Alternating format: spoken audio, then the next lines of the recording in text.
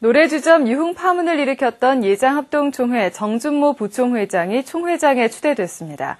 교회 개혁을 바라는 목소리는 봉쇄된 채 이루어졌습니다.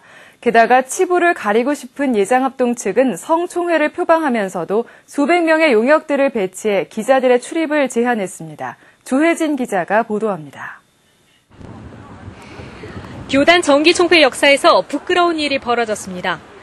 노래주점에서 도우미와 유흥을 즐겼다는 보도로 총회장 자격 시비가 일었던 예장 합동 측의 정준모 부총회장이 박수로 총회장에 추대됐습니다. 일말의 자정 능력을 기대했지만 결과는 더 이상 회복 불가능한 총회의 현실을 확인한 것 뿐이었습니다.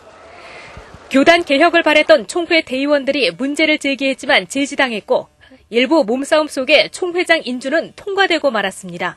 드러내기 싫은 치부를 감추기 위해 성스러운 총회 현장에는 건장한 용역들이 배치됐고 입구마다 기자 출입 금지라는 문구가 붙었습니다. 총회 현장의 분위기는 날씨만큼이나 어수선했습니다. 용역들은 미리 출입 카드를 받은 총대들이 아니면 그 누구도 입장을 허락하지 않았습니다. 기자도 출입증을 받기 위해 등록처를 찾아갔지만 허사였고 명단에 없어가지고 제가 말씀드린 거. 그러니까 그 명단 좀 볼 수 있어요? 아, 제가 저기 뭐, 보여드릴 수 없어서 제가 잘 몰라요. 미안. 취재를 강행하려는 기자들을 용역들은 물리력으로 막아섰습니다.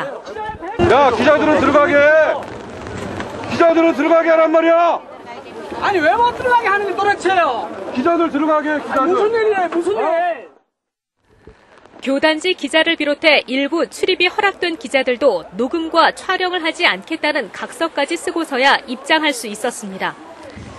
총회장이 될 목회자의 노래주점 출입 파문에서부터 교단의 살림을 이끌어갈 총무의 자격 논란, 그리고 GMS와 IT 구호 헌금 유용 논란 등 유독 감추고 싶은 치부가 많은 총회였던 만큼 지도부는 철통 같은 보안 유지라는 강수를 뒀습니다.